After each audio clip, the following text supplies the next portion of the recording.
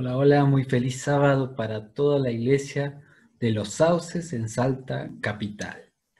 Muy feliz día mundial a los conquistadores del club Mahanaim. Mi nombre es Gabriel Beretta, actualmente estoy viviendo en Libertador San Martín, Entre Ríos.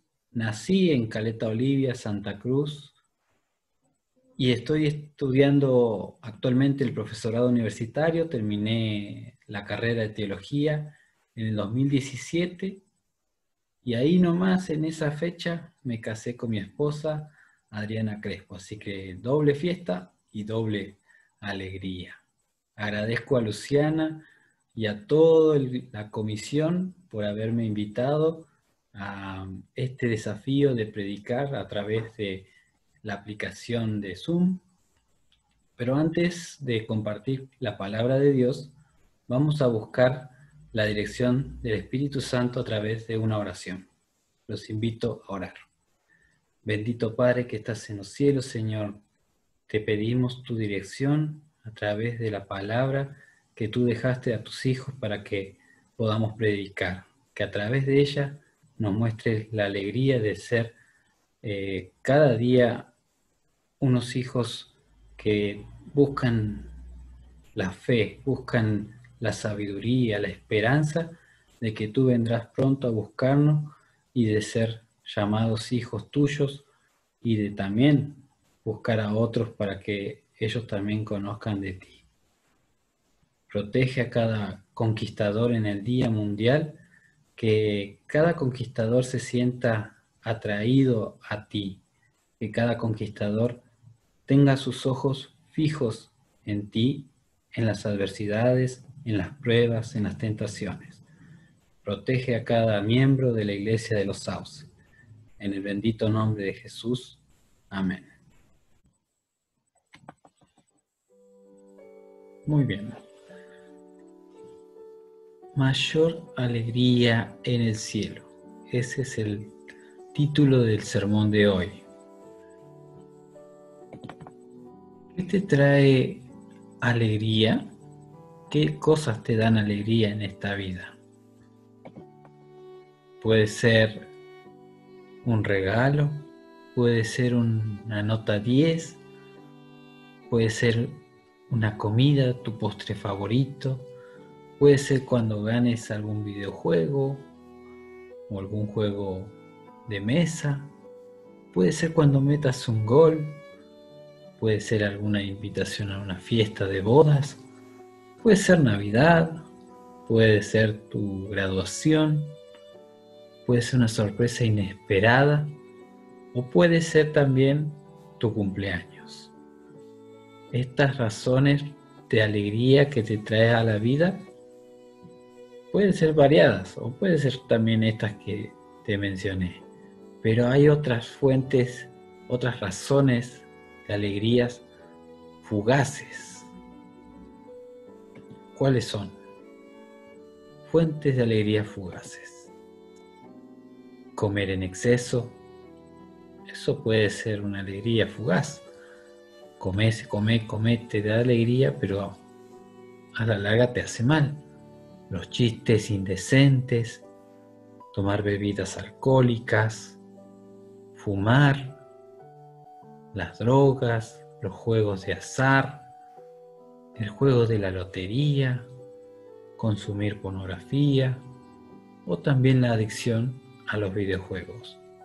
Estos te pueden dar alegría pasajera, pero el fin de, esta, de estas razones, digo, de estas alegrías fugaces, te traerán aflicción, te traerán frustración y te traerán vergüenza. Pero el club de conquistadores también te trae alegrías. El participar en un club de conquistadores es para mí, hoy que hoy día soy un guía mayor, me ha traído varias alegrías. Por ejemplo, el hacer campamentos, el estar haciendo nudos, el participar de actividades, ¿no es cierto?, de, de destreza física, el hacer fogata, el, cocinar, ¿no es cierto? Eh, el pasar las investiduras, em, no sé, un montón de actividades que se pueden hacer dentro del club. Pero lo más importante es la acción misionera que a mí me gusta en el club, como llevar libros, como colectar alimentos no perecederos, pedir la bendición de Dios, obviamente, en la, cuando repartimos los libros. Y también, obviamente, los camporís. Que bueno, ahora por el tema de la pandemia, no se puede hacer camporís en, en el campo, ¿no es cierto? Pero hay formas de hacerlo mediante online. Esos son la alegría de participar, de pertenecer a un club. Hay un dicho que dice, una vez conquistador, siempre conquistador. Y ahora, mis hermanos, vamos a ir a, a nuestra palabra de Dios. Vamos a ver razones para estar alegres mediante la palabra de Dios. El primer versículo que buscaremos es Salmos 122, versículo 1, que allí lo tenemos en pantalla, que nos dice, yo me alegré con los que me decían, vayamos a la casa del Señor. Qué hermoso, ¿no es cierto?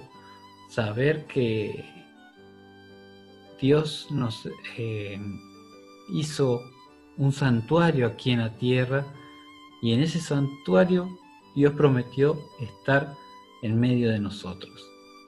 Y el decir nosotros vamos a la casa de Dios, eso ya para nosotros es una alegría.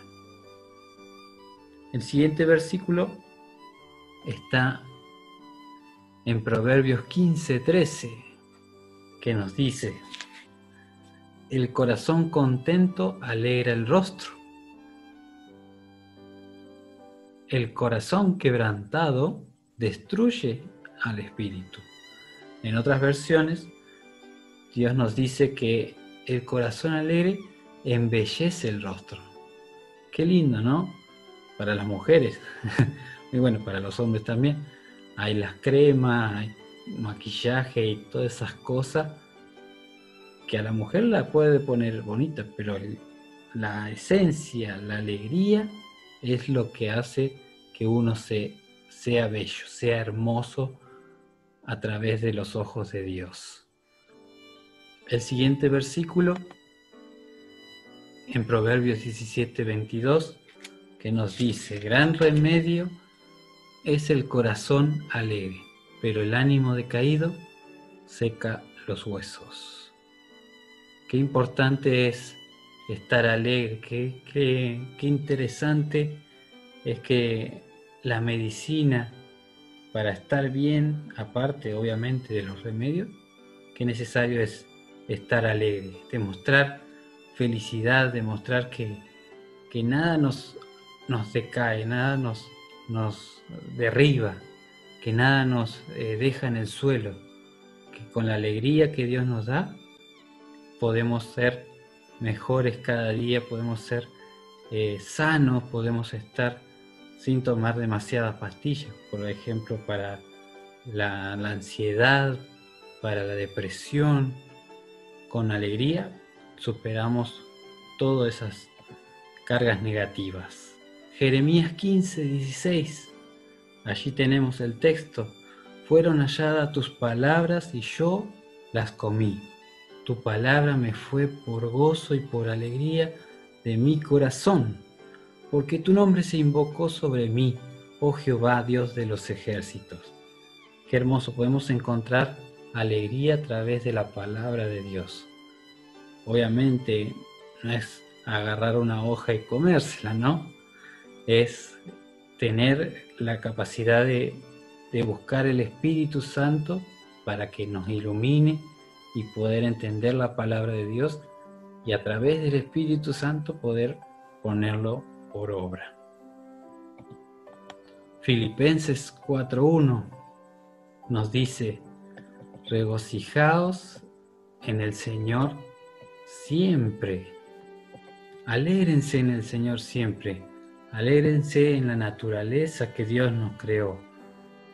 Debemos estar cada día felices porque Dios nos ama y Él obviamente envió a su Hijo para qué? Para que nosotros tengamos vida eterna.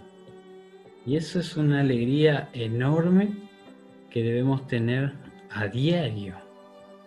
Porque si no, ¿para qué estamos en esta tierra? Muy bien.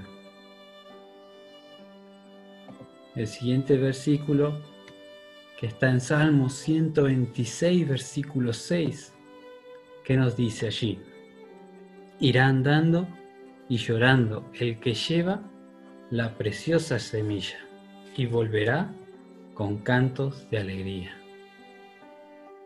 ¿Se entiende este versículo? Este versículo nos quiere decir que el compartir la palabra de Dios puede ser muy difícil para algunos. Puede ser muy difícil el ir de puerta en puerta, golpear, esperar a que lo atiendan. Yo he colportado y bueno, también con el Club de Conquistadores hemos ido de puerta en puerta buscando interesados para, para estudiar la Biblia. Pero es difícil cuando te dicen no, no quiero, no estoy interesado, soy de otra religión. Pero con el poder de Dios, nosotros sembramos la semilla y cuando llega el día de la cosecha, tenemos frutos, obtenemos frutos y volvemos a la casa de Dios con cantos de alegría. Qué hermoso. El siguiente versículo que nos dice Lucas capítulo 10 versículo 20. No te alegres porque los espíritus te obedezcan, sino alégrate de que tu nombre esté escrito en el libro de la vida. Alegría a través de la salvación. Alegría a través de el, hecho de tener la, la noción de que estás haciendo bien las cosas y de que tú te vas a salvar en el día venidero. No vas a estar eh, atrapado en este mundo, sino que vas a ser elevado al cielo o resucitado en el caso de que fallezcas. Dios te va a restaurar, te va a transformar y te va a salvar de este mundo en el cielo. En el cielo vamos a estar todos alegres, porque nuestro nombre, mi nombre Gabriel, tu nombre Luciana, Juan, Pedro, Lucas, como sea tu nombre, va a estar escrito en el libro de la vida.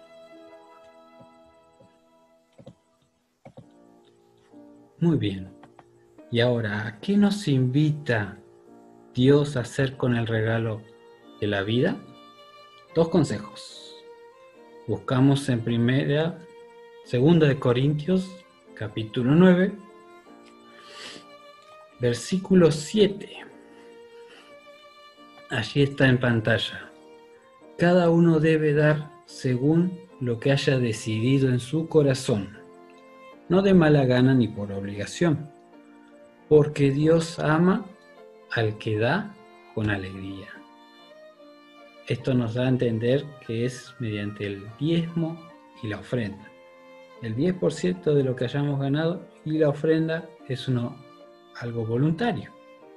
Entonces, Dios nos, a través del regalo de la alegría que nos da, nos pide que demos el diezmo y la ofrenda con alegría, no de mala voluntad, no de mala gana, ni por obligación.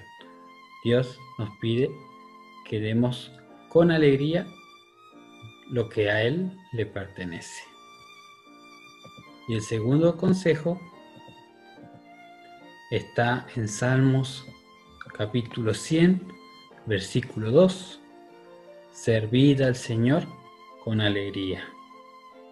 A esto quiero llegar que Dios nos dice que sirvamos a Dios en las cosas de la iglesia, ¿no es cierto?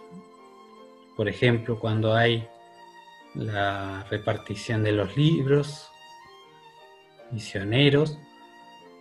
Por ahí en el club las tarjetas te piden eh, ir de puerta en puerta, es un requisito, pero no, Dios dice que sirvamos al Señor con alegría,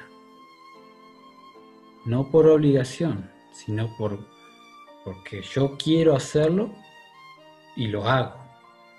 Dios quiere que sirvamos con alegría, de ir a golpear las puertas, de hablar la palabra de Dios a otros, a nuestros amigos, a nuestros familiares, etc.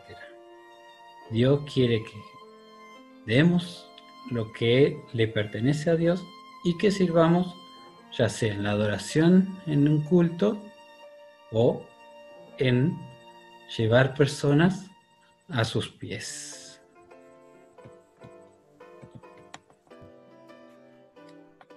La alegría que tendremos en el cielo será eterna con los resucitados y transformados para vida eterna.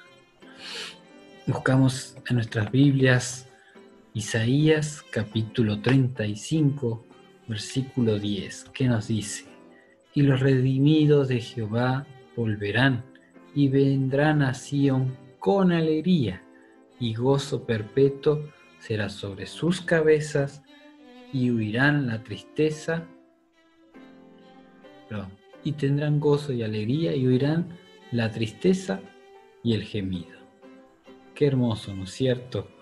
Los redimidos volverán a Jehová. Mis queridos hermanos, hemos sido rescatados del pecado y de las manos del enemigo. Qué noticia, ¿no es cierto? Qué noticia de gran alegría. Y el siguiente versículo está en Lucas, capítulo 15, versículo 6. Dice, gozaos conmigo, porque he encontrado mi oveja que se había perdido. El pastor había perdido a una de las 100 ovejas que tenía y decidió buscarla hasta encontrarla. Qué hermoso, ¿no? Un pastor que teniendo 100 ovejas pierde a una digo, y dice, capaz tengo 99, ¿para qué necesito buscar a esa única que se me perdió? Pero no, él por amor a esa oveja la buscó y la encontró y dijo a sus amigos, gozaos conmigo, alegraos conmigo. ¿Qué mayor alegría sintió este pastor al encontrar a su oveja? El comentario bíblico adventista nos dice, de todas las alegrías que la vida tiene para ofrecer, ninguna se puede comparar con encontrar a un pecador perdido y llevarlo a Jesús. Qué hermoso. Así que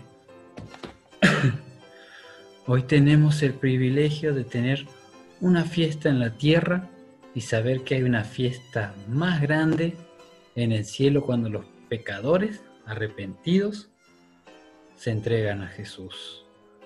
En minutos más, a nivel división, y espero que también allí en Salta, algunos de los conquistadores se entreguen al bautismo para el perdón de sus pecados y para que su nombre sea escrito en el, en el libro de la vida.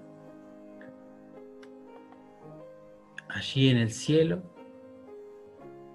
Dios va a estar tocando su cabeza, Dios va a estar siguiendo sus pasos de aquellos que decidan tomar la de bautizar, tomar la decisión de bautizarse para el perdón de sus pecados. Ningún motivo de alegría en la tierra puede ser mayor que este, que tome la decisión de bautizarse, de de tomar compromiso, tomar el compromiso de ser un hijo de Dios. Veremos la alegría en el rostro del que se bautiza, en los padres, en los hermanos y también en los hermanos de iglesia. No podemos imaginar la alegría en el cielo. Yo me imagino a los ángeles saltando de alegría, danzando, cantando, porque un pecador aceptó a Jesús como su Salvador.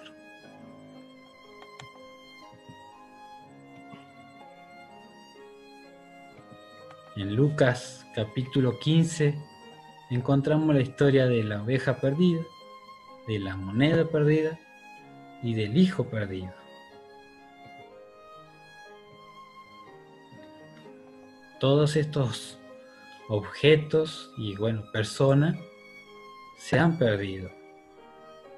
La situación obviamente es muy triste para un padre que se le pierda su hijo, para una mujer que en ese tiempo la plata era, y bueno, en este tiempo también, perder una moneda que costaba bastante, significaba bastante para ese entonces, y una oveja también, perderla era triste.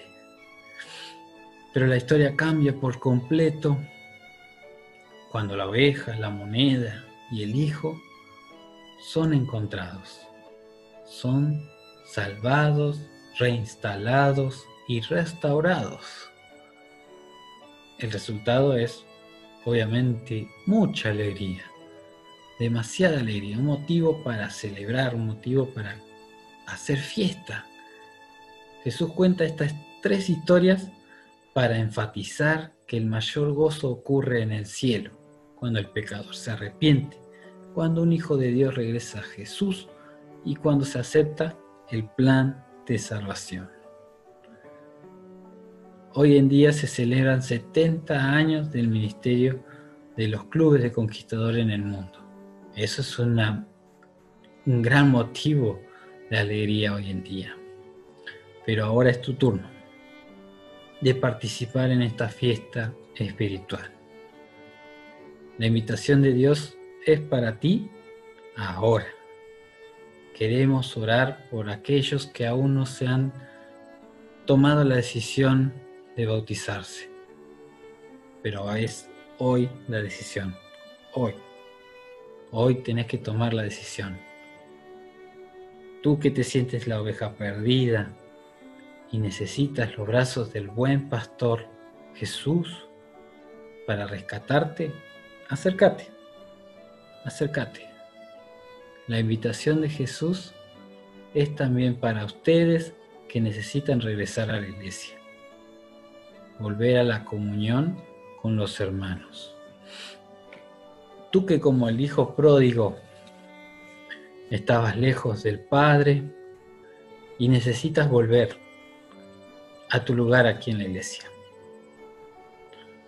Puede que te sientas sucio, avergonzado, temeroso de estar derrotado de nuevo.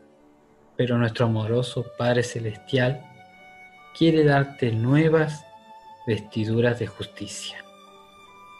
Un corazón nuevo.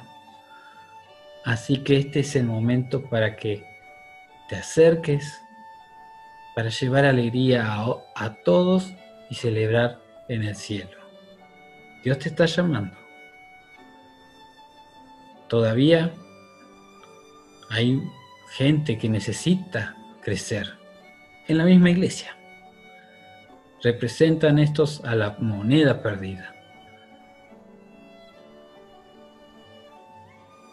Dios quiere que te encuentres Dios quiere que vuelvas a sentir el deseo de salvar a otras personas.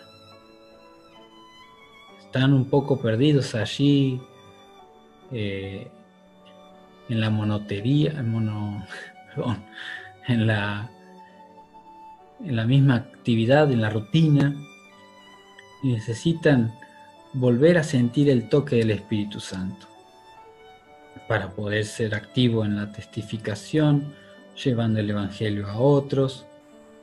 Y a ti te digo que te levantes, levántate a buscar una reconsagración un reavivamiento y unámonos todos en los momentos finales de la historia de este planeta para rescatar personas para el reino de Dios y celebrar allí en el cielo, donde hay mayor alegría. ¿Te parece si, hacemos una oración para terminar? Busquemos a Dios. Bendito Padre que estás en los cielos, te damos gracias por esta hermosa meditación, este hermoso eh, testimonio de que tú nos has dejado en tu palabra, de que la alegría de ser hijos tuyos nos va a dar la salvación, de que vas a tener nuestro nombre escrito en los libros de los, de los cielos.